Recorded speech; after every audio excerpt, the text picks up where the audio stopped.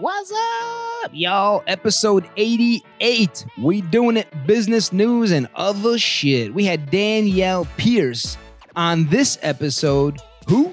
Yo, this is a wealth strategist for real estate. She's a real estate wealth strategist. Check her out, DaniellePierce.com. We taped again from Cedars, the restaurant I've been running here, y'all. New menu is slapping come through, roll through. We got some cool stuff Middle Eastern fried chicken, Middle Eastern fish and chips. That's right. I'm totally pitching this restaurant. Come through, y'all. You all gonna love it. Say what's up to me if you see me.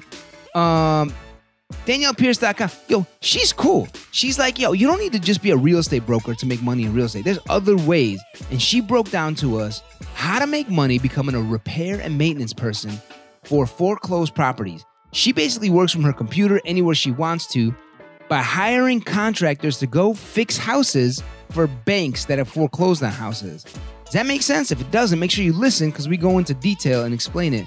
She also talked about making money through tax liens um, and how she basically will buy properties, scoop properties up on the cheap for a thousand or two thousand dollars, and then tr- later on sell them for double or triple, uh, if not even more. Um, the hardest part about all this, dealing with contractors. That's what she said. Dealing with contractors is the hardest part about all this. Um, so she's figured out some tricks and secrets. She's been doing this for almost 10 years. I think she said like seven or eight years. So she was super cool, super smart woman. Uh, she's based out of Texas now, but she basically does this kind of coaching, right? She she she's a coach for wealth for wealth strategy when it comes to real estate. So she's gonna walk you through step by step through an eight week course she runs um, to become a person who makes good cash managing contractors for repair and maintenance for foreclosed house, or she'll coach you also on being a, a tax lien investor, where you can simply use a thousand, two thousand, three thousand dollars to buy a property that has been delinquent on its taxes that the government owns now. And man, did she have some crazy stories about contractors and tax lien stories. The best, one house became like the house in Frozen, y'all. Someone decided to turn all the faucets on plug up the holes in the house, and freeze the house in the dead of winter because they were not happy they were being evicted. Um, so she had to go in there and melt all that, thaw all that. And we heard some other crazy stories too. Anyway, you're gonna learn a ton about how she does this, how she makes her cash. You could do it too. I'm not even kidding. This is a legit way of becoming a real estate person. Uh, so sit back, relax, and enjoy the episode, y'all. Peace. All right, so Danielle Pierce, what's up? Thank you for joining us. It's cool to have you on this podcast. Just so you know, Danielle, we we like to just chat it up, tell stories, uh, you know, share some insight teach each other some shit, you know, uh, whatever whatever's clever. You know, we like to just have a good time. Um, so thank you for joining us. Really cool of you to join us. No problem. Thank you. I saw the name and I was just like, oh my God, this is like the best name of a podcast ever. Well, You like it? Oh, you like I it? I love it. I Man, love it. my whole background, my whole life has been business related. I grew up in this restaurant and grocery store with my pops. I then went to Wall Street, worked as an investment banker for a long time, 10 years. And then I'm right back. I'm doing now stand up comedy and other types of comedy and this podcast and trying to make a business out of that. And then I own this restaurant now. So that's kind of the entertainment business. I'm figuring that out. And so, like, I'm like, yo, I guess I could talk business. I'm really comfortable talking business, but I also like to talk about other shit. So I'm like, all right, Right. business news and other shit. You know what I'm saying? I love it. So is comedy your thing? Is that like your first love? And then, yeah, I'm just, what's It's the, it's a pa- it's a big passion of mine. Yeah. Okay. but it wasn't it wasn't like my I would say I don't know it's a good question like what my first love is. My first Yeah. love is probably my mom. That's that's if we want to be for real. To this day I love my mom. Oh man I don't know what I'd do without my mom. Um so yeah that's probably my first love. Uh but like I've always thought like since I was a kid man I'd love to be an actor. You know I always saw myself like on TV or in a movie or something like that but everyone in my family be like, you know, like back in those days, people didn't really, I don't know. eh, I, I'm Muslim. I grew up Muslim, and I'm Muslim, and I'm Arab too. So everyone would be like, because they didn't know what was going on in America and like th- the new world, you know, that everyone moved to from the Middle East. Everything they would say is like, no, that's against our religion. That's against our religion. And everything was against. If, like, if they didn't know what to say about it, that's against our religion. I'm like, acting is against our religion. Yeah. Don't you see them doing sex scenes sometimes? I'm like, I don't know. Yeah, that's you know, I guess that's probably against our religion. But come on now, like, can't I do any non-sex scenes? right. So I would say that might have been one of my. What, what's up, John? No, it's just sex scenes are okay, but it just has to be like a hundred percent sex scenes. That's Only all. sex scenes. Yeah, only sex. That's scenes. all you're allowed Yeah, to do. yeah. That's only. That will be in line with our religion. yeah, yeah. uh, so uh, so I don't know. Yeah, maybe acting is my first love. I might say. Um, and then I went to acting school, and I did- now I'm doing all this comedy stuff because I had some dear, dear friends um, who were comedians, and I went on tour with them quite a bit, and I just learned about them, got close with them, and I'm like, yo, I, this is amazing, you know. And so that's kind of what uh, I dove in headfirst. You know, changed my life from the world of investment banking more towards the world of entertainment. So yeah, I, big shift.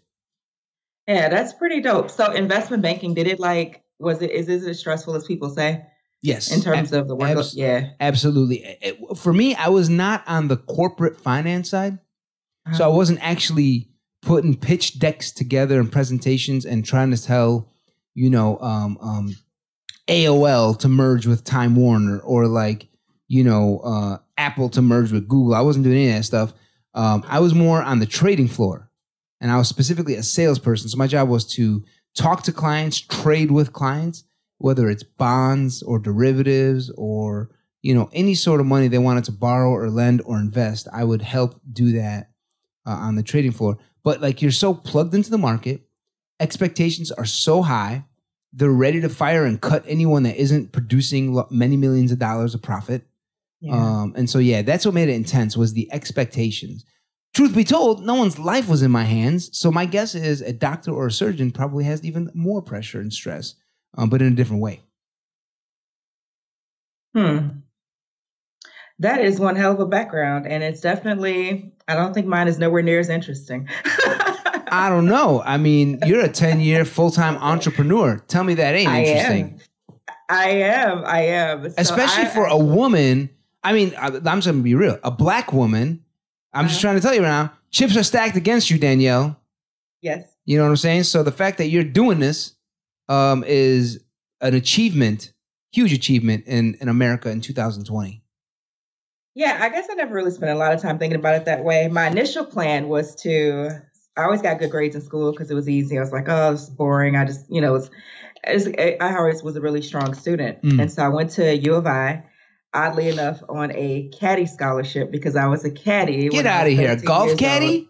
Yes, That's cool. yes, yes, wait, wait, wait. There's yes. such a thing as a golf caddy scholarship? I thought like golf scholarship, yeah. No, it's called the Chick Evans Caddy Scholarship. It still it still exists. And so that's how I ended up going to U of I, and it covers tuition and housing. So basically, you don't really have a lot to pay for once you get the you. scholarship. Yeah. So I made that happen, and I have an accounting degree. And so the only reason I have an accounting degree is because the only other person that went to college in my family has an accounting degree. And I was like, oh shit, that'd be cool. Let me major in accounting. And it was so boring and so awful. I was like, this super sucks. But they would always tell us things like, oh, it's going to be exciting once you start working. You're going to love it. You're going to Lying through their teeth. every day. Lying And I was their like, teeth. all right, I'll give it a shot. And so I got my first job, and yeah, it definitely sucked. where, where was your first job? Like KPMG or somewhere? It was not. I actually worked at American Express Tax and Business Services. It was Yep. around the time that Amex had bought a public accounting firm, and they were getting into you know that arena. So I started working there. It's One South Wacker Drive, downtown Yep. Chicago. I thought I was freaking. When when was this? this was 2002 is when I started. November 2002. Yo, I had a friend who worked there named Sultan. Does that name ring a bell at all? It does ring a bell. Yo, uh, I forget yeah. his last name now. Yeah. Um, ni- nicest guy in the world, right? Uh, um, but like now, when I check out his Facebook and stuff, this guy's gotten in some serious hot water. Have you kept up with Sultan at all? I have not. I, I didn't know he was in hot water. That He st- he stayed in accountants like you. uh, Oh, sorry, sorry. Unlike you, he stayed an accountant. uh-huh. But this dude went on to be like a personal accountant for a high net worth individual. Mm, And and apparently, apparently, okay, allegedly, all right, the the the rich guy who was his boss claimed that Sultan was buying many houses, like 25 homes, real estate property, boats, expensive cars, all sorts of stuff with with the rich dude's money, but Sultan was owning it somehow. So Sultan Mhm. was supposedly embezzling money in some way, and and using it to buy property and other types of things. And so now they're in, you know, not, so he got arrested and all that other stuff. I don't know what's going on with him. I presume he's defending himself. If he's innocent, he obviously is defending himself. And if he's guilty, I don't know what what he's doing. You know, he's trying to figure out his life. Um, but wow. sometimes an accounting degree can get so boring that you do some crazy ass shit like that. or or you're overworked, right? If you're in public accounting, you're overworked and you're underpaid. And so Mm. maybe that's what people start to feel entitled to other people's money. I don't know, but I just know it was super boring and it sucked. And it was weird because I worked with a bunch of people who had been at the uh, in accounting for years, like 20, 30, 35 years, and they all hated it too. But then they kept coming every day and every year. And, and I was just like, ah, it was awful. So I knew I wasn't going to last there. And I lasted five years exactly. wow. Uh, they started doing layoffs. This was when I was I switched over from there to Sam Zell's company at the time, Equity Office oh, cool. and um, they started laying off the laying off the audit department. I was like, oh, I want to get laid off. I'm, I hate this job. I want to be an entrepreneur. I'm going to be rich. No, wait. Lay This is at, you're, you're hoping to get laid off at American Express, right? No, no, no. I switched. I had left. I was at Amex for like I think for three years, and then I went to Equity Office. I was there for almost three years as well. And you were hoping Equity Office would lay you off. Yes, Got and they it. did. Wow. And then it was like, oh shit, I got what I asked for, and then I wasn't even ready. yeah, they ended up um, cashing out all of our stock when they let us go. And at the Mm. time, it was like I had like thirty-five, thirty thousand dollars, and of course, I'm broke. I've you know never had money in my life, and so I see thirty thousand dollars. I'm like, I'm rich. oh yeah. Uh, Oops. and so then I spent all that money. Yeah, spent all that money kicking it, partying, going to concerts, going on vacation, and um, yeah, well, yeah, you were finally- burned out. You had to recover. Well, kinda. I was also very ignorant too, as well. And then uh, I just thought being an entrepreneur just meant doing stuff like this all day, just hanging out, kicking it, partying, you know. Yeah, I made that same mistake money. too. so yeah, it was rough for a while. Mm. All right, Yeah. cool. Well, cool. It's great to have you on. So, I mean, I'm checking out your like, I'm checking out your uh, uh, um, background, and I was like, yo, you're a wealth strategist, but specifically for real estate. And I was like, what? What's that mean? I don't even know.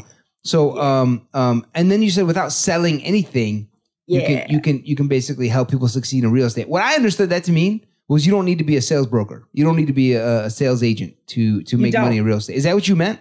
Yes, that's exactly what I meant. Okay. Because people always think real estate that they're gonna um, that you have to be an agent, or people will say things like, "Oh, I want to get in real estate. I'm gonna get my real estate license." I'm like, well, you know, those things are unrelated. Um, Getting a real estate license just allows you to represent buyers and sellers, and you don't actually learn a whole lot about real estate. Like as far as investing and flipping and tax liens and things like that, you're not taught any of that stuff when you get your license. You just Mm. get the certificate. And so I tell people that you know you can make money in a bunch of different ways. So I do. I'm a tax lien investor. And then I also um, do the repairs and maintenance for foreclosed properties in different parts around the country. All right, so it's let's- let me- very, let me go slow. Let me go slow. So Yeah. you're a tax lien investor. Invest- We'll get yes. we'll get into that in a little bit. But then Okay. you also do repairs and maintenance to foreclosed properties, properties that are already foreclosed and no one really cares about. You do Yes. repairs and maintenance to those with the intention of doing something, I presume. Um, no, that's the only intention is to do repairs and maintenance. And Oh, okay. You get paid for that by by banks or whoever. You get paid for that. the banks pay us. My team does it because I can't. I'm not actually handy with anything other than I don't know taking pictures with my cell phone.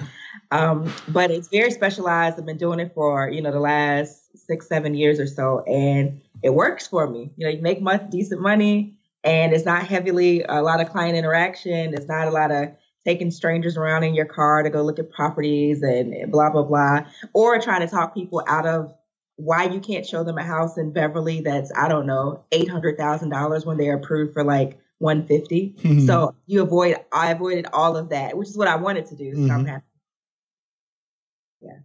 That's cool. That's cool. Avo- avo- avoid avoid basically basically being a salesperson. That wasn't Yeah. your cup of tea. Yeah. I got it. And so you figured out ways to make money in real estate without having to sell. I got you.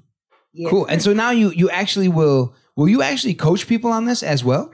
I do. I've coached right. lots and lots and lots of people. They've had um, amazing success stories as well. It's one thing to be able to do something yourself, but it's another thing people can duplicate your results too. So it's it's so cool to see that people are like, oh shit, this actually worked. You know, I I, I paid for this training and it works because a lot of stuff online, you know, I mean, a lot of it is great. A lot of it's not so great. All right, so so give us like the one you're most proud of, the amazing story you're most proud of that you're like, oh snap, I didn't even know I can coach them to do that. They're doing better than me. How the hell are they doing better than me? Wait, this is not supposed to be happening like this. What the?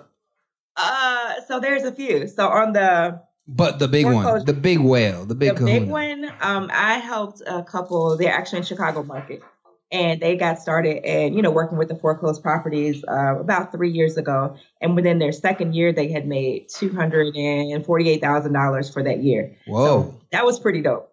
that's and oddly great. enough, the husband was actually an auditor, so he was still in audit. So he was working in the same field that I was. And so to see him go from, you know, he's making pretty decent money, Sure. I'm sure, but to see him go from that to basically like double, it was like that was that was dope. Wow. Wait, wait. So, uh, uh, how how did they do this? So, so they called you up and said, "Yo, can you give us some advice? We're thinking of dipping our toe in the water." What did you tell them? Yes. I said, yes, let's do it. All right, and what? You, and so, how did you coach them? What did you tell them to do? What was like Um, step one, step two, step three? Step one, step two, step three. So step one is okay. f- First of all, let's figure out why you want to do this and do you have the time to do it. Oh, Um, next smart. step is you have to set up an, an actual business because it's not as if you can just be a, a you know hang your hammer out and say, hey, I'm ready to go work on these properties. You have to have an official structure to do that. like an LLC or something, right? Yeah, yeah, LLC, um, C Corp, or S corp, whatever Sure. makes the most sense. Set up the business, get the proper insurance in place. You got to have a background check because you can't have a criminal record, be working on these properties as well. So you get all that stuff taken care of. And then from there, it's a matter of applying with the different companies around the country to get a contract to cover a specific territory. And then once you get the contract, you have to manage it. And basically, that means just hiring the right people, um, overseeing the work as it's being done, reviewing the work orders, paying your team, things like that. Okay, So wait, wait. Let me let me slow you down, Danielle, because there's a lot of good chunky stuff you're saying here. so, so you didn't tell them right away, go look at listings and go buy this foreclosed property. No, you first said to them, first of all, do you all have the time? Second of all, set up a LLC and call your company, you know, repairs and maintenance foreclosure LLC or something like that. Yep. So you got them first into the repair and maintenance business, not yet into buying and selling and flipping and investing, right? Right. Yeah, we don't get we don't get that far into. it. We just only do the repair and maintenance, Gotcha. and it's actually very, very, um, it's very, very lucrative. And a lot of people are like, "Oh, I didn't know this was a thing." I'm like, "Yeah, it is a thing Mm. because somebody has to do the work on these properties, and so the neighbors for sure appreciate it." Okay. So when you ask them about like timing, like, do you have the time for this? Like, people are listening right now to this podcast, not literally right now, because we're probably going to publish in a couple days, but Yeah. um, people are listening to like, yo, can I do that? So, like, like, um, what is the commitment in your experience for someone to jump into the world of repairing and maintaining, maintaining foreclosed homes? Um, so I I think it's better if you are doing it full time and you don't have a traditional nine to five. However, if you do have a nine to five already, your job has to have some level of flexibility involved in it, meaning you have to be able to respond to an email or a text here and there.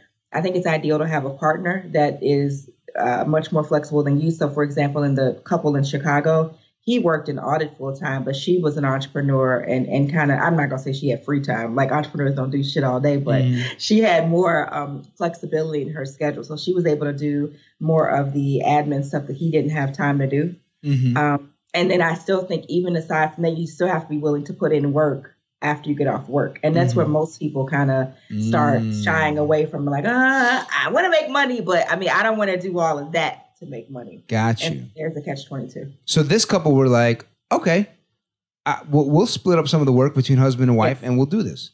Yes, absolutely. And and what, like, how many hours a week would you guesstimate, or is it too hard to think about it that way? Do you think about it more in terms of like email and text communication? I think uh, so. I like. I don't think about things in hours anymore, just because it's. I mean, I haven't been punched a clock in so many years, but Right. I know that that's the norm. So I would say if you're just starting out, you should have at least 20, 25 hours a week. I think that'd be ideal. Um, less than that is probably going to be. Um, is probably something you shouldn't pursue at this time. I got you. Okay, so twenty to twenty five hours a week extra. Okay, cool. Yeah. John, this is interesting, isn't it? Yeah. Making some extra cash. And so did they? Okay, so they said, yeah, we'll do it. Then they set up their LLC, Yep. And then uh, John, you know what LLC is? Have you heard that term before? Yeah, I've heard it. It's like a just a.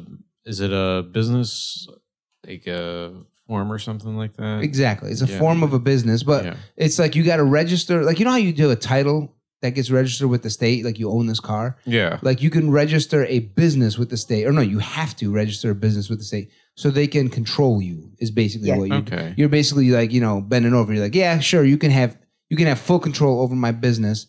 Not really, but they definitely have full control over the financial aspect of your business when it comes to taxes. Oh, okay. Yeah. Uh, so they Yeah. want to make sure you pay your taxes and you follow all the rules and regulations. Um, so LLC and a limited liability corporation. It stands for limited liability corporation. Um, so you know you have liability insurance on your car Yeah. in case you hit someone or whatever, something happens. You can your insurance will pay that person uh, to fix their car. A limited liability company. If your business hurts someone, so God forbid, uh, at this restaurant someone were to slip and fall, um, and they want to try and sue me for everything I've got. Yeah. Then they would have to sue the company. You got it. And the company limits the liability to me because only the company itself can be sued, not Amr Abdullah. Oh, okay. So you set up your LLC to make sure your repair and maintenance business doesn't get you screwed some way. And then what was step three? So what did you what did you do? How did you start getting them some repair and maintenance business? So after you after the business is set up, you get the insurance, and in this business, you need well, you have to have a general liability, which I'm sure you're familiar with. You have to Mhm. have errors and omissions, also called uh, professional liability, Mm, and then you may have to get workman's compensation insurance, depending upon the state that you live in Mm. and uh, whether or not you have employees or independent contractors. So then once that's done, it's only a matter of applying to the right companies to get your your very first contract. You can work with multiple companies, you can work with one company, you can work in one county, you can work in multiple counties. That part depends heavily on the temperament of the people that are involved. So if you can manage people well and delegate well and you're really organized, you can handle more. If you are a person who freaks out and you're a control freak and you got to have control every single thing, you're to have a hard time. Okay, I got you. Um, so you got to be able to be kind of chill sometimes. You do. Um, it's funny. My, a friend of mine, we were just talking about this on Facebook. He was saying that lazy people make the best entrepreneurs. he said, um, he said, lazy people make the best entrepreneurs. And he said, people who are overthinkers, you know, they um, they tend to struggle. Ah. And I Ah, knew exactly where he was going with that. Not lazy in the sense of not wanting to do shit, but lazy in the sense of, okay, let me think about this at a high level. Who Right. can I hire? How can I delegate? Right. How can I get out of doing more work and hire people to do um, stuff for me? are you late? Would you consider yourself lazy, John? Oh yeah. Completely lazy. Really? Yeah. I, I, so this might this might be for you, brother. Yeah. It might be. Yeah, having other But- people do stuff for me. If Yeah. I could, if I could have somebody, you know, come in and wipe my ass for me, that'd That be that'd be working great, that, right? that'd be great. yeah, Yeah, I don't know if that's where we were going with it, but that's where John was going with it. yeah. that's what I was going with it. If I could make that Uh, profitable, that'd be great. You'd be happy to pay your LLC taxes for that, right? exactly. You know. but I mean, I think it totally makes sense though, because I, even in my business, the people that I work with, I find that the more education a person has, the more degrees they have, the more time they spend in corporate America, they are the worst people. Not the worst in a sense. I feel like, you. Negative, but they're just hard to deal with because they don't believe anything. They're always analyzing stuff. They're scared to do anything without permission. It's just Damn, it- I it's lot. feel like you're speaking truth. Like, man, when I came out, I swear to you, I think I left the corporate world partly because I started to notice myself super anal Yeah, about the smallest, dumbest shit. yeah. And I'm like, how have I become such a perfectionist with all this? That was not what got me here, by the way. Me being like, you know, a little more creative, uh, you know, willing to fail, screw it up. Oh, I gotta see, whatever. Let's try better next time. Uh uh watching my dad, God bless his soul, may he rest in peace. Watching him just like every day wake up and just go be an entrepreneur. Like, like that was what got me where where I am today.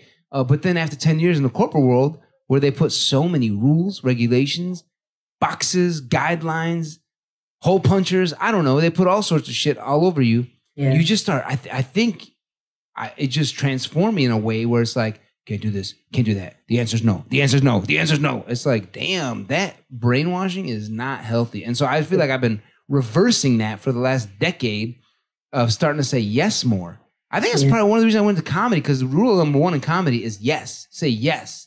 Yes. Yeah. John wants to have a business that wipes his ass for him. Yes. Yes. We'll get those taxes paid, baby. Mm. Yes, get those get those taxes paid on Wipe John Dolder's ass LLC. You know, so you just got to say yes, yes, yes, and that was like the medicine for me when it Yeah. came to getting out of the corporate world and, and brainwashing myself to a, a better place. I think that that is such an accurate assessment. Um, so I think the 10 year mark, if I'm if I think about this logically, I think the 10 year mark is probably kind of the make or break point. And I think the after 10 years, I think it gets virtually impossible to kind of reverse that. And I say that because one of the most common emails or inboxes or phone calls I receive are for people who have been in corporate or been at a job for 20, 30 years. So they're like 45, 55 years old. And they're like, I want to do something different. And they don't have. You're like clue. too sucker. No, I don't. I don't say that, but it's like they don't know. They don't. They don't know what they like. They don't know what they mm. don't like. They don't know. What they they know nothing other than getting up and going to work. Right. That's a scary spot to be in. So every day I'm like, holy shit, let me never get in that. You know, find myself in that situation because it's hard to get out of. I mean, I got to tell you, kind I, I, as much as I com- I completely agree with everything you just said, full agreement, and I have this place, a compassionate place in my heart for for those people because guess what? It's also very easy. It's very comfortable. So the people who are emailing you, I think, are on the edge of like, yo, should I go out of my comfort zone or not? You know, and I, I think that it might be tricky for them in year 20 or year 25 to be doing something like that because they've gotten so used to that comfortable lifestyle. I mean, there's so much that has to get that there's so much training, almost like mental training that would have to happen for them to become comfortable with um, you know, being more flex. I think the word is flexible. It's it's, it's a little harder to be flexible when the corporate world trains you to think a certain way. yeah. You're absolutely right about that. So, so how, how many years were these people that reached out to you? How many years were they in the corporate world? Uh, the most was 35. So a guy reached out to me. He actually was working in a government job in Alaska, believe it or not. Damn. And it was a great position. Like he, you know, definitely well paid. But he just and then a lot of times they're technologically, you know, deficient too. So that's the other issue. It's oh like man, they can't use a computer. Oh, they no. don't know about anything. And it's just like they're bigger I don't dinosaurs than know where you, to begin. Yeah, I don't know where to start. So man. Um, uh, but what about the couple that made the two hundred forty-eight thousand? Were they in the corporate world for a long time? Um, no, the hu- well, the wife was never in corporate. The husband, he had been in his position about ten years or so, Okay, like similar to you. So he was, uh, he was ready. He he kind of was at the right mix of, you know, not too long in corporate, but enough to have have some money available to, to kind of branch out. He was at a really good spot. how did he? So okay, so they they you hook them up, they get their insurance. Uh, Yep. What does insurance cost for like setting up this kind of LLC? So what is general liability? Like I pay four grand a year. Is that what it is kind of for you? It is so you pay four grand for just general liability. That's Mhm. the only policy you have. I believe so. Is that for multiple businesses though? No, just one. Wow. Okay. It, well, maybe the restaurant business is considered higher risk. So Oh, this probably. industry is considered higher higher risk. Um, so a policy may run you actually about three to four thousand, but that's for general liability and for errors and omissions too. Gotcha. Okay, so that's you three to four grand a year insurance. All right, they get set up with their insurance. How did how long was it before they got like? How did you then connect them to the right people or the right companies? Yeah. Yeah. So I know all the companies already just from experience and um, talking to my colleagues in the industry and of course doing research online. And there's only about a handful of ones that are na- national that Mhm. will that allow you to that pay the best and allow you to kind of do the work and still hire people and make a decent profit. So at that point, I just told them, okay, here's the companies that we need to work with. Here's what I want you to put on these applications. Here's what you have to say in order to, you know, to get them to select you as um, to be on their team because there's lots of companies that want to get in and, and get these types of contracts, but they're not in a position to do so. So you kind of coach them through how to fill out the applications, what to say, how to answer the questions, all that kind of stuff, in a way where those companies who issue these contracts would say, "Yep, we want to do business with you." Mhm. All right. How long was it before they got their first contract after doing that? Um, they it took them about 90 days. I would say 90 days is average. Hmm. I do have some people who do it significantly faster, and then I have others, usually my folks in corporate, that are like too busy working or too scared, and they might it might take them, you know, nine months or a year, but that's because they they take forever to actually get started though Ah, as well. I got you. Okay, okay, that makes sense. All right, and then uh, so ninety days. And what was their first contract like? Was it just you know go fix this staircase and we'll pay you two thousand dollars? Uh, it depends. So there's lots of, you know, a lot of, just think about, you know, Chicago, a little bit outside of Hyde Park, right? So Hyde Park is great. And then you go a few blocks uh, south or a few blocks, you know, east Yep. or west, and the neighborhood changes. So think about how those properties look. You know, maybe the trees are overgrown, maybe the grass is three feet high, Mm. maybe the snow needs to be shoveled, maybe somebody, true story. One uh, property that we were assigned to, the people left the property voluntarily, but I guess they were pissed off about having to leave and they left the water running in all the, like the sink, the bathtub, everywhere in the property in the dead of winter. So the entire Oh. house basically froze. I've never seen anything like it to this day. Wait a minute. Someone like plugged up the tub. They plugged up the sinks. They probably plugged up the drains. I don't know. They probably shoved some stuff down there, and then they just turned it all on. And and they're like, The water. that's like the exact opposite of like, you know, let's burn this bitch down. That's the exact opposite, but it achieves the same thing. Yeah, yeah. They caused a significant amount of damage to the property. Oh hell so yeah, they did. That, dude. That's where the move, the movie Frozen. That's where they got the idea from. That family probably. that was the first thing I thought when I saw it in real. I was like, oh wow, this looks like a scene from Frozen. And so oddly enough, Oh, did you go see the house by the way?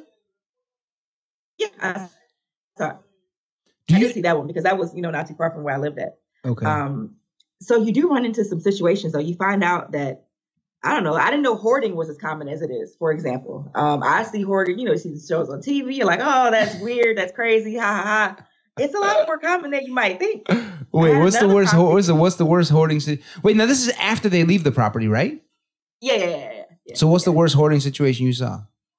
Uh, it was a house. It was actually in uh, one of the suburbs of Chicago. I forget which suburb it was. But no, it was in Oak Lawn. I remember. It was Oh, in Oak snap. Lawn.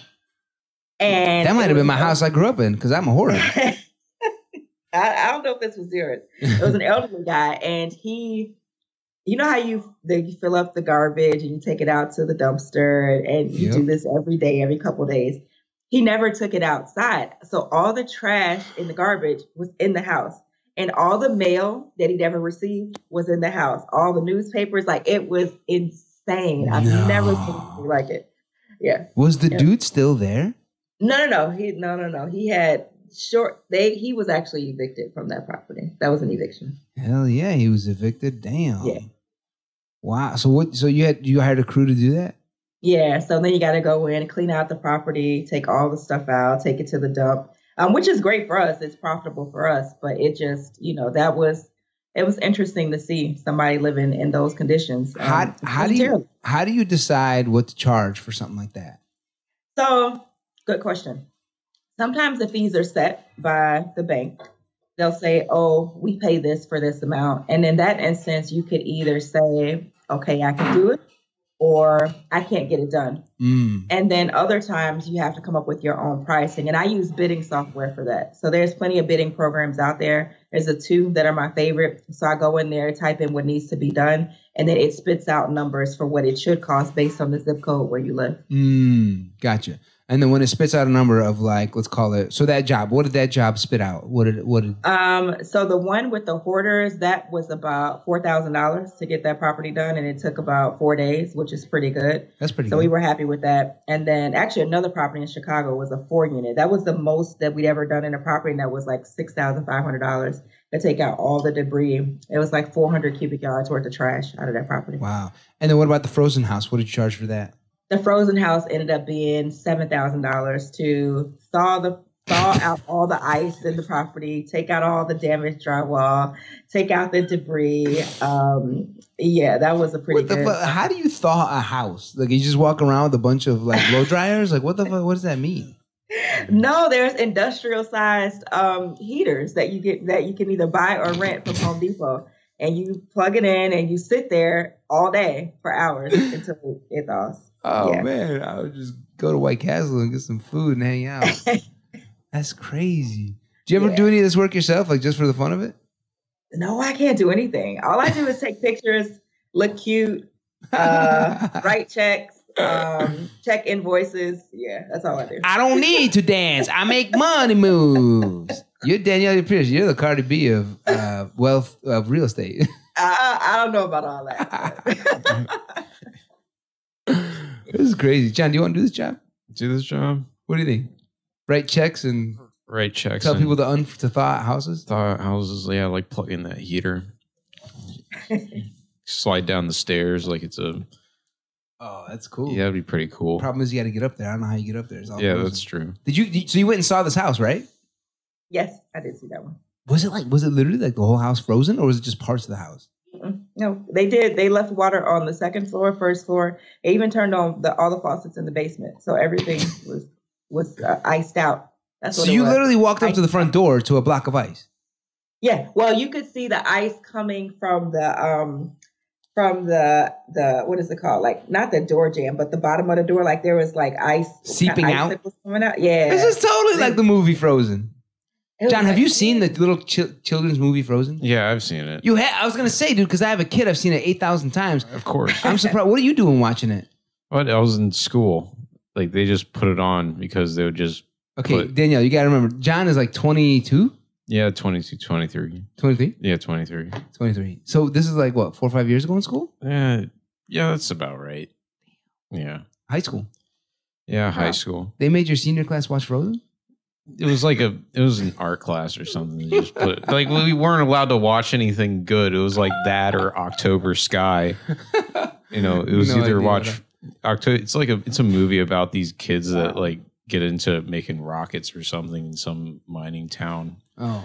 And everyone's like, That sounds know, a lot less tame than Frozen. Let Yeah, me tell they're you. like you. They don't want you. We don't want you flying rockets. We want you getting black lung like your papa and grandpappy. miners. Yeah, Uh, sounds like you've watched both. ad nauseum. Yeah.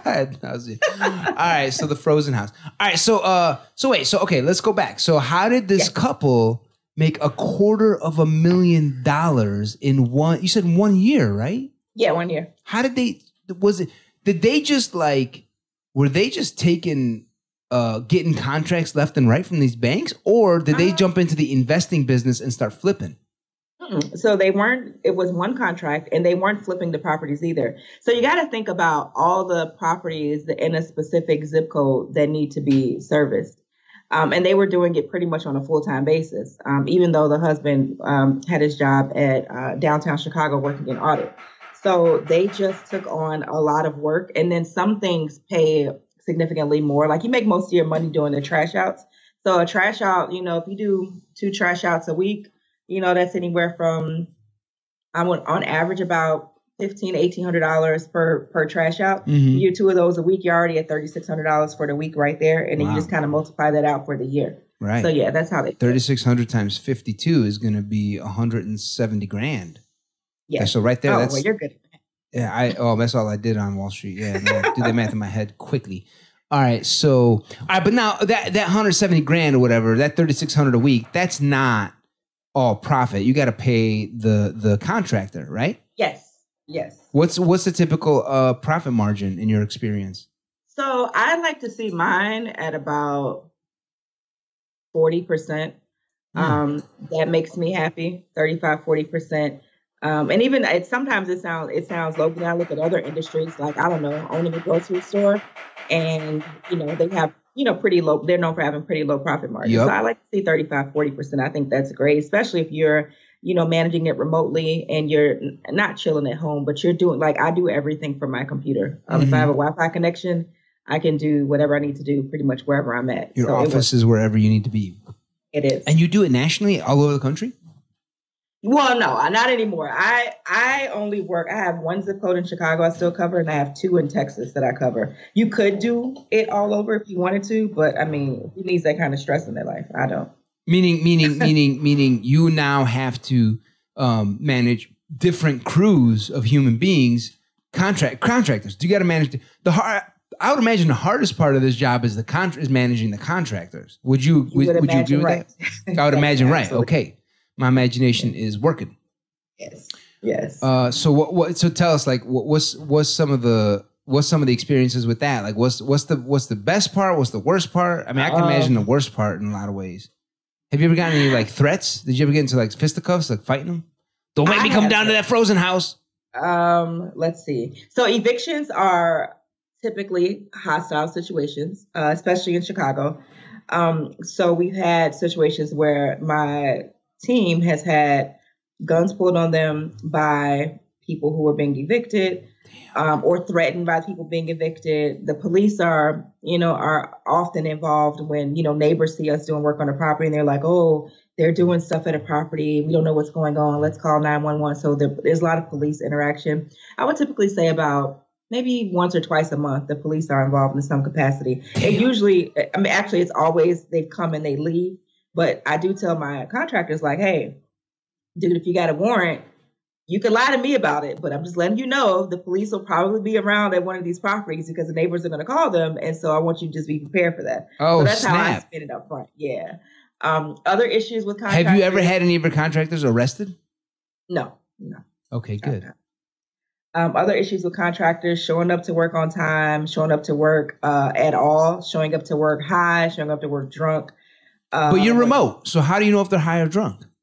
Um, well, this was so in the first year, first two years, I actually, you know, provided the trucks and the trailers and everything, and kind of, you know, I thought that it would be ideal to give them everything they needed to do the work, and then let them go out Mm. into the field. And that was a disaster because people they just take better care of, you know, their shit than they do yours. Yeah. So they would come back and stuff would be missing, stuff would be stolen, stuff would be broken. Um, the list goes on. Damn. Okay. Okay. And so, have you? Do you have to constantly like? I mean, these independent contractors sometimes can be painful. Like they they say they're going to show up, but they don't show up. Right? I have that problem sometimes in in this business. Um, do you do you uh, have that problem sometimes, or have you arrived at a place where you got loyal people and you you know where where are you in that? I have three loyal people after, you know, six going into seven years. There's only three, but they do a lot of work by themselves and they're, and they're very consistent. As far as outside of that, it's a lot of rotation just because they, they work and I think things are going well, but then they'll fall off the face of the earth and then the cycle kind of repeats itself. I mean, I just think it's a transient business and um, it's part of the territory. Come in, Pancho. It's okay. Come in. I'll taste it. Yeah, my my my uh, chef wants me to try some yeah. cauliflower couscous. He's making a couscous out of cauliflower. Somebody doing keto? It's good. I, I think it needs maybe no. It's good. It's good. Thank you. Um, that goes with our lamb chops. In case anyone's wondering, thirty dollars on the menu. No, I was saying Delicious. somebody doing keto. Is that why it's uh, cauliflower couscous? Oh, you know what? Yeah, I mean, customers are all over it because it's like, uh, you know, they they they people want less carbs. So couscous Yeah. or rice or potatoes. So my chef, his genius, he's like, yo, let's make them couscous, but out of cauliflower. It's a vegetable. It's healthier, digested easier. I'm like, that's gangster. Let's do it, baby. And so it's been a hit. It's been a big hit. Yeah. And so he was making it and he was testing. Te- I've got to give like the yay or nay on everything. So I'm like, yep, go for it. That yeah. tasted good. Have you ever been wrong? Uh, I tell you what. So we relaunched a new menu recently. Okay. customers are looking at me sometimes cockeyed. They're like, "What did you do to the old menu? I want the old menu back." WTF? I'm like, "Damn." They're like, "Give me my shawarma back." I'm like, "I'm like, yo, it wasn't the best seller. Like, why do you, you know, try Yeah. try this other amazing stuff that we have now? You know." Yeah. Oftentimes they're like, "No, we don't. We people. Some people don't like change. They get used to Most something." people don't like change. right? And so they get used to something they don't want it, you know. Um, but this new chef we have is really killer. He's he's get, making Yeah. delicious food. It's healthy. It's tasty. It looks beautiful. He's got such an artistic touch to his. Uh, he's got like finesse. You know when someone's got finesse and style. Mhm. That's what I love about this guy. He's got finesse and style. So I love what's coming out the kitchen. It's just going to be massaging the customers to be patient with us as we make it make it better. Um, but yeah, whoever's listening, come out. Hyde Park Baby Cedars. We, we'd love to have you. All right, back, Yes. back back to this business. I'm so excited about this. I'm thinking to myself, like, yo, John, should we get into this? Get into what? The hell's wrong with you, man? Where you been the last hour? Oh yeah, yeah, yeah, yeah, yeah. That thing. Should we get into doing this business? Oh yeah. That'd be cool, right?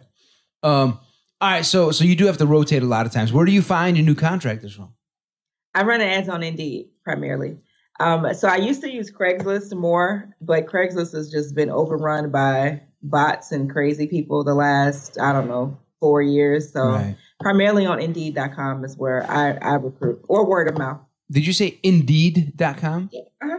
I N D E E D.com. Mhm. It's pretty good, huh? Yeah. Yeah. Uh, You, say, you sound like you've never heard of Indeed. I can tell you've been out of the workforce a very long time. Oh yeah, I, I know I know Fiverr and I I know Upwork, but I never heard of Indeed. Really? Yeah. That is so crazy. That's like the number one job search engine. But you don't need a job, so you wouldn't know. Yeah. It's like is it I mean it's not like monster.com, is it? It is. Oh. It's the replacement it's the replacement of monster.com. Wow. I mean I always picture like LinkedIn as kind of the new monster.com, but maybe I'm mistaken. Yeah, well, for stuffy corporate jobs, yeah. But outside of that, Oh. I got you. This is for like more uh uh contractor type of jobs? Yes. I mean, there's other jobs there too, but if I'm looking for a, gen- a general contractors, handymans, handyman, I go to Indeed. All right, cool. All right, so um, this is amazing. Like I, I'm, I'm super interested in doing something like this. I, I'd love this. I, I think people should totally pay attention.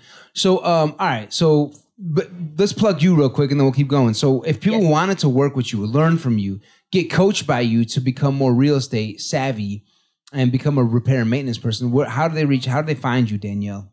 So the primary way is my website, which is daniellepierce.com. How genius is that? And then the other primary method would be my YouTube channel, which is super dope. My YouTube channel is kind of my give back, my, my free stuff, my, you know, community empowerment stuff is where I, I do a lot of, um, provide a lot of that content. So I do Mm. that on my YouTube channel. Nice. And what, what, what, how do they find your YouTube channel? What is it called? What would they search? Danielle Pierce. Oh, really? Did they, right? And yeah, Yeah. YouTube. Danielle Yeah, Pierce. Cool, yeah. cool. Okay, great. And they'll, I mean, basically, all the stuff we're talking about here, they can probably learn about on there additionally, right? Oh yeah. Oh yeah, absolutely. I'm right. very, very consistent. Do, uh, John, if you if you wanted to do this, do you feel like you got honestly? Do you feel like you got a, some sense of how you would go about doing this? Go about uh, like managing real estate. Yeah, beco- exactly. Becoming like a repair and maintenance person for these foreclosed homes. foreclosed homes. God, how, how would I go about it? I don't. I don't think he's been paying attention, Danielle. I'm not gonna lie. I was just distracted by that couscous. That's honestly uh, what was. no, so so so we we'd hook up with Danielle. Yeah, We Yes. would basically get an LLC open, Yep. yeah, buy some insurance, yeah. Insurance. and start looking for contracts Yep. applying to companies who would Yeah. tell you, "Hey, there's a whole bunch of debris inside this house." Get a profile on Indeed. Put a profile up on Indeed. Find the contractor. Tell him, "Hey, I'll pay you. I'm gonna get paid two grand. I'll pay you eight hundred bucks to go to this house and clean it all out." He or she says, "Yup, done." You cut the check for eight hundred. Keep yourself twelve hundred. Boom, you made some money. Does that sound right? Sounds. That's literally it. What do you think, John? you want to do it. that? yeah, it seems That's seems it. pretty good. Seems easy enough, Yeah. right? Uh, all right. What you don't get into flipping, you don't get into buying the foreclosed homes, you don't. But you say you do tax lien investing, so you do Yes. actually put capital at risk, right? Yes. What is that? So the tax lien investing is totally separate. And let me address one other thing about the bank on the foreclosed properties.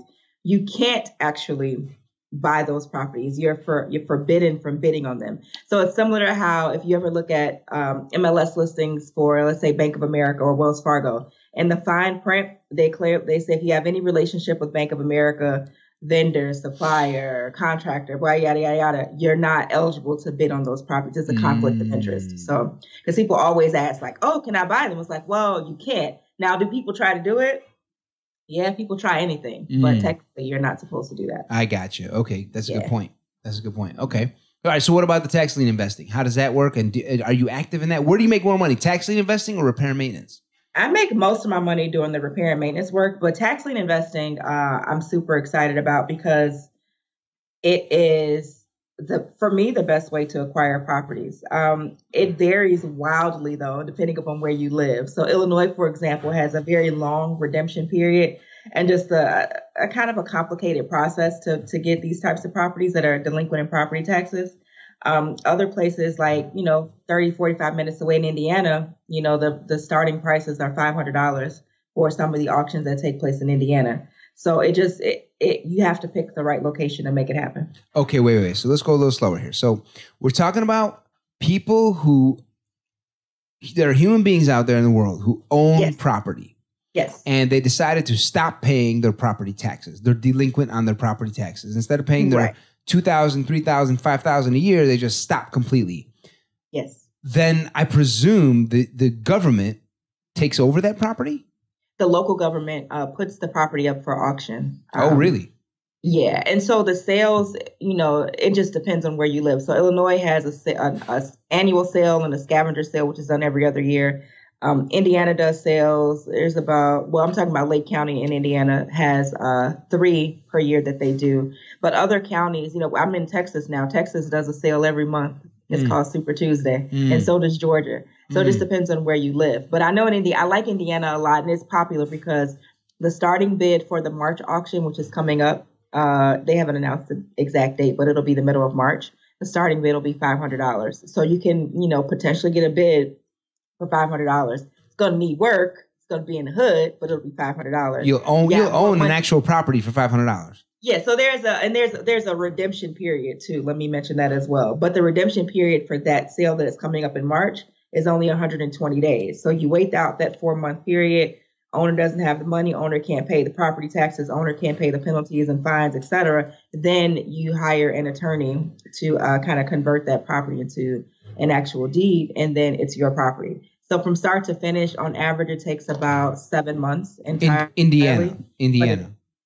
In Indiana. Much longer Yeah, than Illinois. so seven months, and then once, yeah, Illinois is uh, two and a half years wow. uh, for that same process. Yeah, Yeah, I've had a friend on named Faisal El Khatib. He's been on before. He does a lot of this work, and he told me it's a two plus year process on some of this stuff. yeah.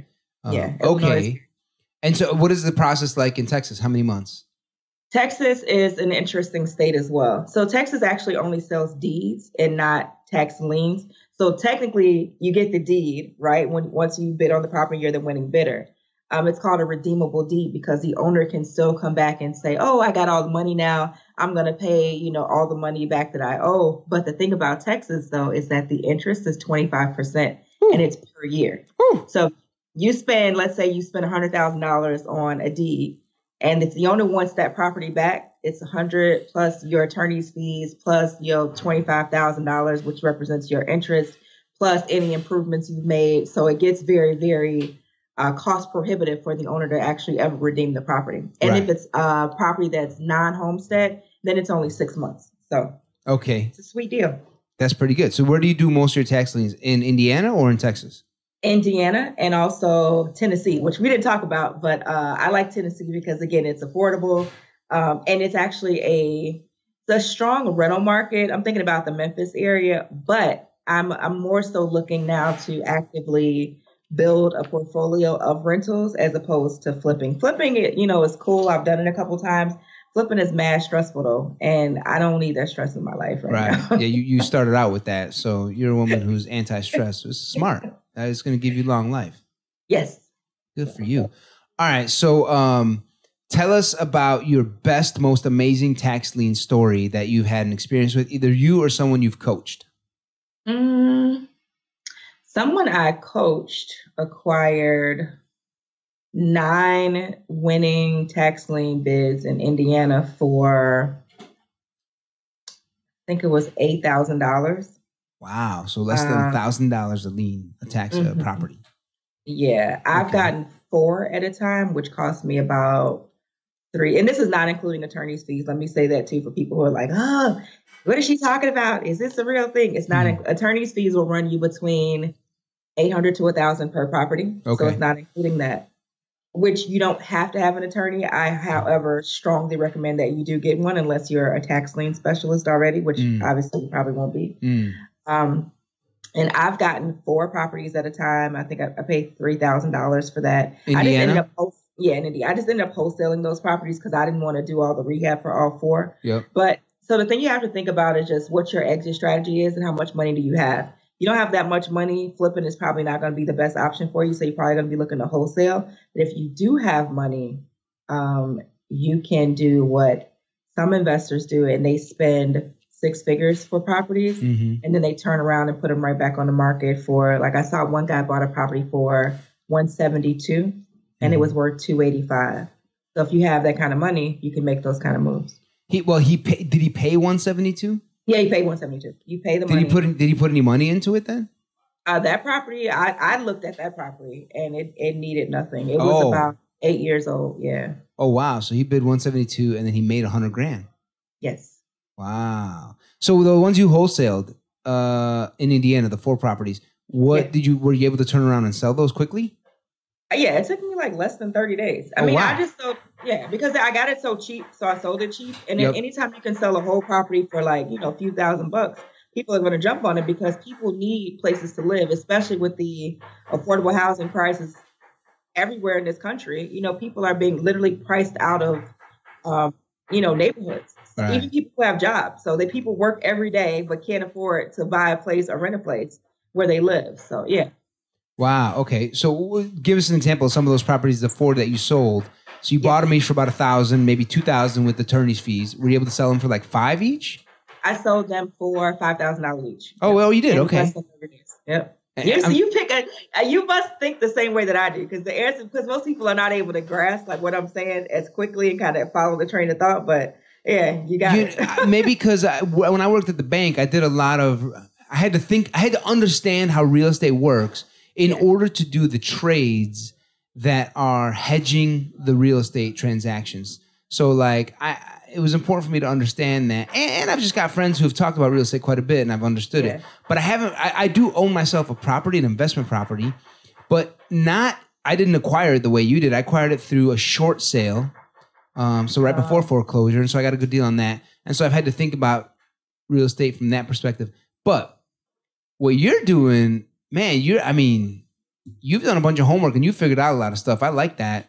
And I I feel like if people were just to listen to your coaching, they they'd get really good at real estate pretty quick.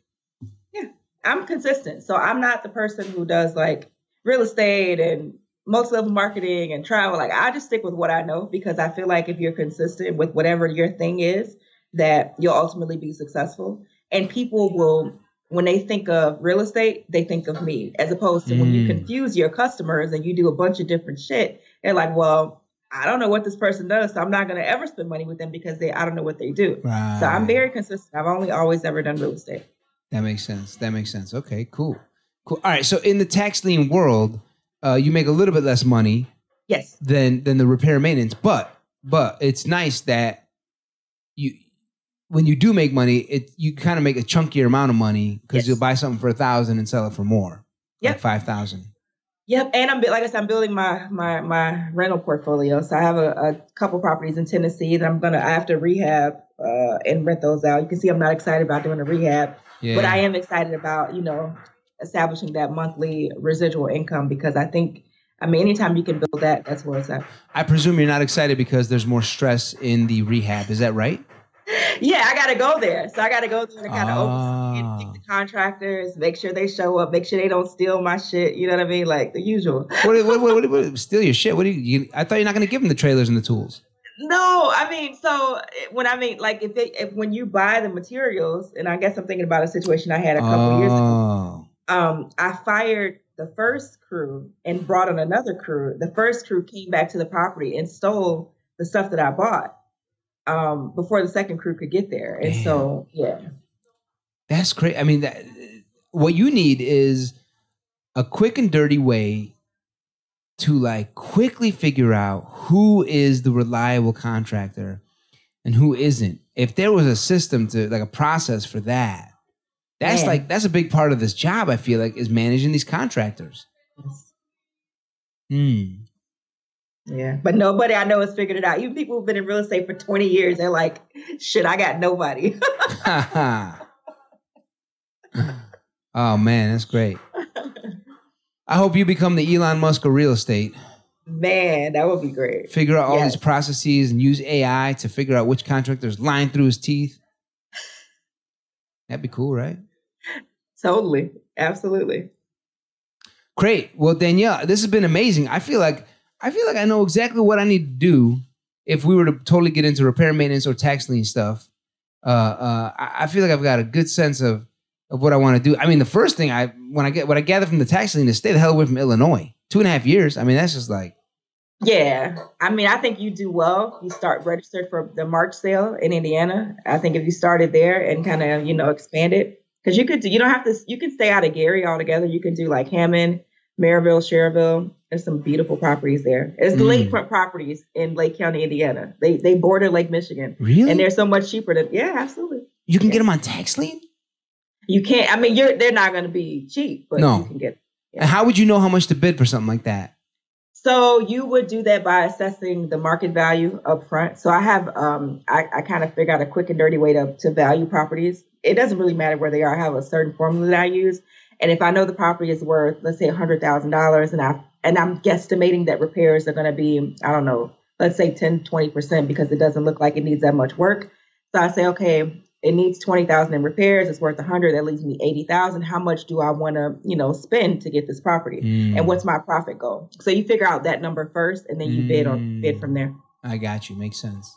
All right. So let's say I jumped into a coaching relationship with you where I'll be like, I want to do some of this, but I need someone to kind of hold my hand the first year or two. Like, how do you, how, how to the extent you're willing to share, how do you, how would the, what kind of relationship would you have with someone like me or a, a client of yours who wants you to coach them for the first year of them doing this?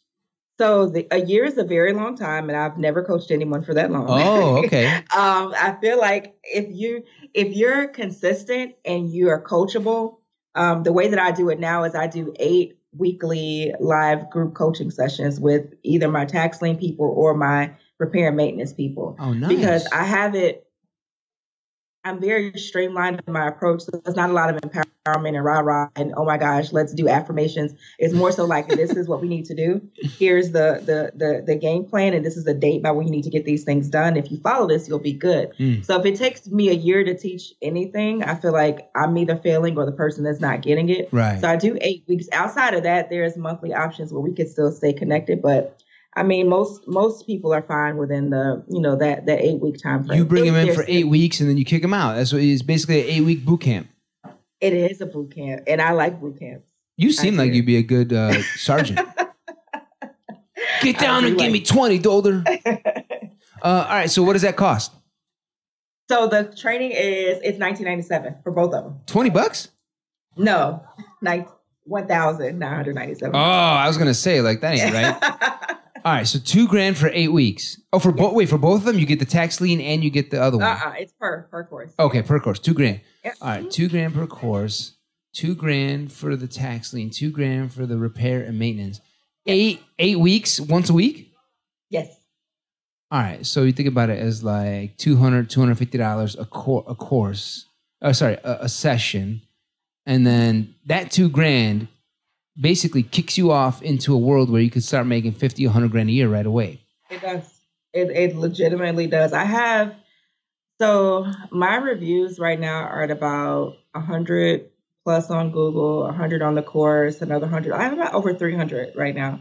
Um, five star reviews Mm. from different people around Mm. the country. Mm. Um, and they're just like some people say I'm a little blunt or a little, you know, too direct, but I mean it, it's effective, and so I feel like you're paying for a result. And so Hell yeah! In this business, you you want to you no beat around the bush. Tell me how to make money. Get straight to it. Yeah. Mm-hmm. that's what I do. Congrats, Danielle. Man, I'm so proud of you. This is amazing, man. Amazing work you're doing. Like I, I never heard met, met or heard anyone doing this. This is amazing. Good for you. Thank you. I appreciate it. I gotta get John Doler to hit you up. Maybe I'll hit you up too. Yeah, I'm gonna send you the link for because I'd like for you to at least start and go see what the Indiana sale looks like. I think you'll think you'll fall in love and you'll have a new a new business that you'll add to your portfolio. I love that. Yeah, I'm thinking about lakefront properties right now. Like imagine that if I got a good lakefront property. Um, cool, cool. So DaniellePierce.com, D A N I E L L E Pierce, P I E R C E.com. Listeners, check her out. Real estate wealth strategist. Yes. Legit. She's gonna help you guys make some some wealth, man. I think this is for real. And you're pretty funny and you're cool. and you're doing it. you. You've been in the corporate world and you're now doing the entrepreneur world, so you get both sides. So you can help some people who are on the corporate side, uh, uh, uh, you know, wiggle themselves out of that. yeah, as long as they're not 20, 30 year corporate folks. I, That's I have much a hard harder. time. Yeah. That's that's again stress, which Danielle loves. right. Danielle, it's been a pleasure meeting you. Thank you. Appreciate it. Likewise. Yeah, thanks for coming on the show. Yes, sir. Looking forward. Peace out. All right. Have a good day. Bye. Bye. All right, peace.